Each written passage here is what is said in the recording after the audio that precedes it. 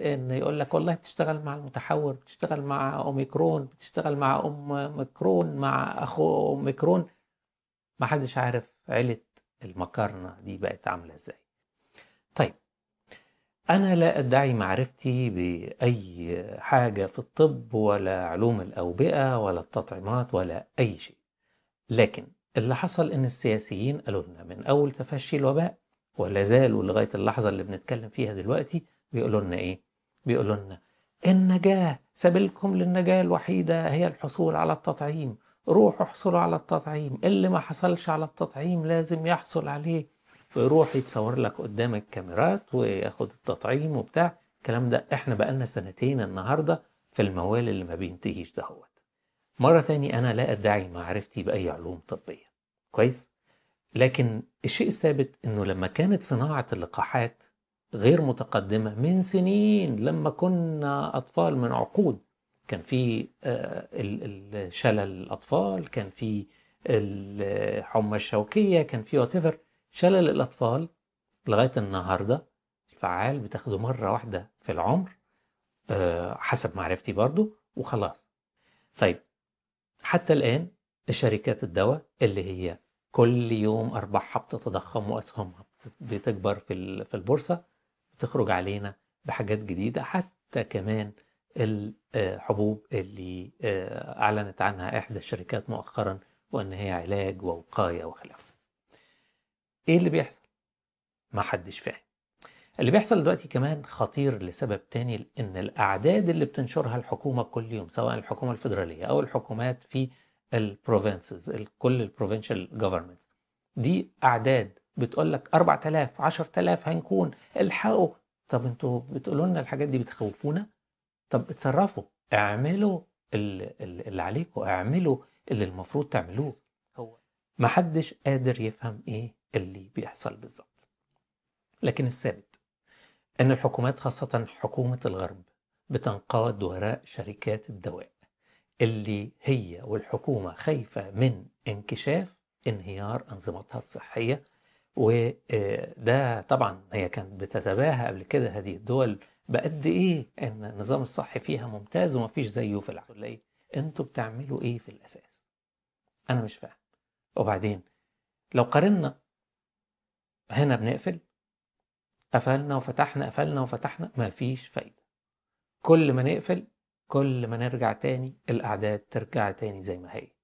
طب ما تخلوا الاقتصاد يمشي والناس تشتغل والناس ما تكسلش وتعاملوا مع الموقف زي بريطانيا. بريطانيا هي لغاية النهاردة من أكبر الأعداد اللي فيها إصابات وإحنا بنتكلم النهاردة قبل كريسماس.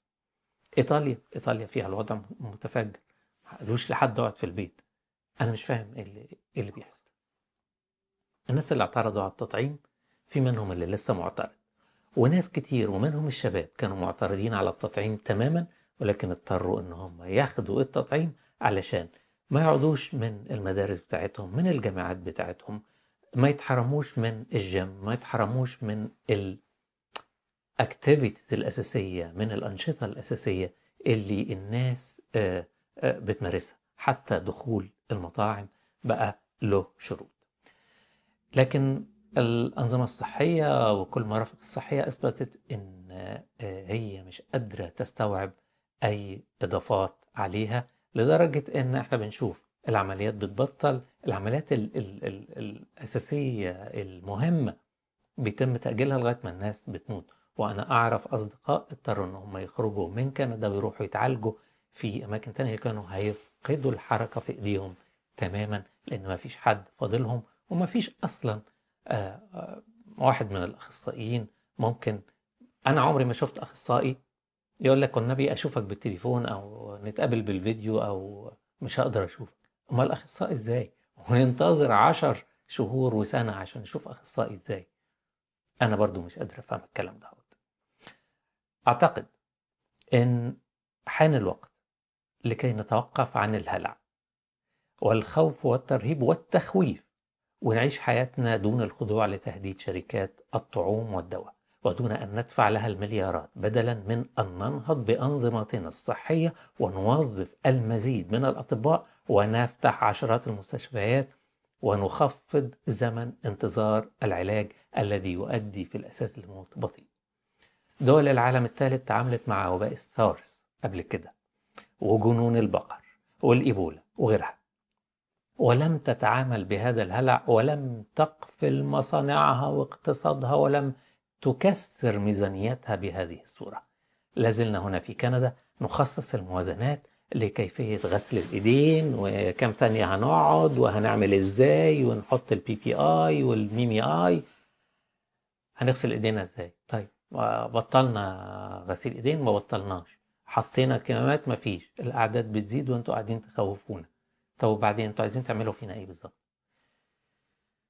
أنا مش من أنصار نظرية المؤامرة ولكن اللي بيحصل ده هو في شيء غلط. لو مش قادرين تشيلوا الحمل وتتحملوا مسؤولية قولوا إحنا مش قادرين وخلينا نجرب حاجات تانية. لو عجبكم الفيديو اعملوا like و share وعلقوا واشتركوا في القناة بتاعتنا ودايما تابعونا على هوا تورنتو. أنا خالد سلامة. subscribe like and share اشتركوا في قناتنا وشاركوا الفيديو مع أصدقائك.